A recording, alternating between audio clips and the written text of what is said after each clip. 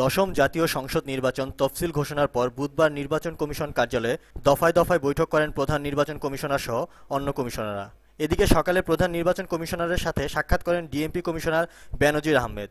ঠিক ওই সময় নির্বাচন কমিশন কার্যালয়ের দ্বিতীয় গেটে একটি ককটেল বিস্ফোরণ ঘটে এবং একজনকে গ্রেফতার করে পুলিশ।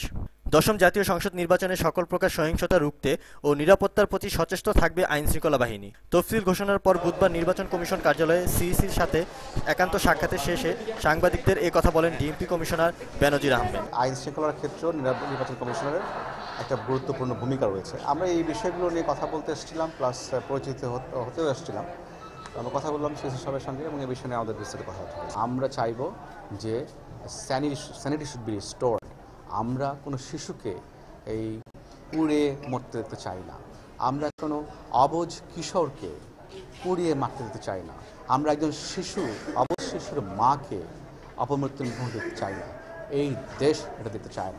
ডিএমপি কমিশনার সাক্ষাৎ করে যাওয়ার পর দুপুরের দিকে ইউএনডিপির আবাসিক প্রতিনিধি নীল ওয়াকার প্রধান নির্বাচন কমিশনারের সাথে সাক্ষাৎ করেন। আলোচনা শেষে সকল মিডিয়া সাংবাদিকরা ইউএনডিপির আবাসিক প্রতিনিধির কাছে আলোচনার বিষয়বস্তু জানতে চাইলে তিনি কিছু না জানিয়ে কমিশন কার্যালয় ত্যাগ করেন। এদিকে সকাল থেকে বিকাল পাঁচটা পর্যন্ত সকল মিডিয়া সাংবাদিকরা নির্বাচন কমিশনে অবস্থান করেন। প্রধান নির্বাচন কমিশনার সারাদিন দফায় দফায় বৈঠক শেষ করলেও কার্যালয় থেকে চলে যাবার সময় সাংবাদিকদের বলেন আজ কিছু জানা যাবে না। কালকে মিটিং হবে সবকিছু রাকিবুল ইসলাম বিডি হেডলাইন্স ঢাকা। ভালো মতন